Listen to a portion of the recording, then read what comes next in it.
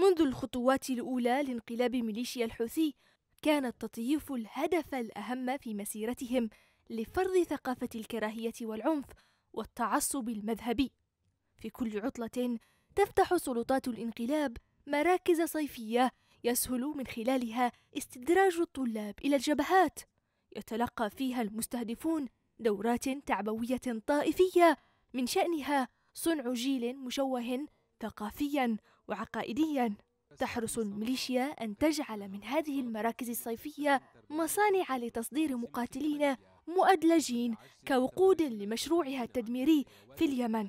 يمكن القول إن أخطر الآثار التي يمكن أن تخلفها مسيرة الحوثي الانقلابية هي العمليات الممنهجة لتطييف التربية والتعليم عبر لجان حوثية متخصصة تدربت على ذلك في مراكز شيعية في لبنان وإيران. بالمقابل يبرز التساؤل عن دور الحكومة الشرعية للتصدي لهذه الموجة الخطيرة التي تستهدف المستقبل وتهدد التعايش السلمي ووحدة النسيج اليمني.